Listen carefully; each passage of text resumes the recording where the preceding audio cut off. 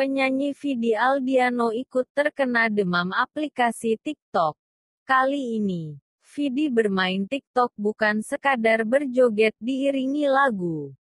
Mohon maaf, sekedar mengingatkan supaya kita sama-sama sehat. Wajah tersenyum. Tulis Vidi dalam keterangan videonya yang diunggah di akun Instagramnya dikutip kompas.com, Minggu, tanggal 15 Maret tahun 2020. Pelantun, status palsu, itu membagikan video TikTok berisi empat etika saat batuk dan bersin.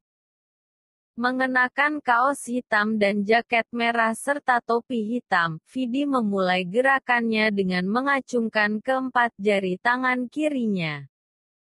Vidi lalu mengambil selembar tisu dan mengangkatnya ke depan wajah. 1. Tutup mulut.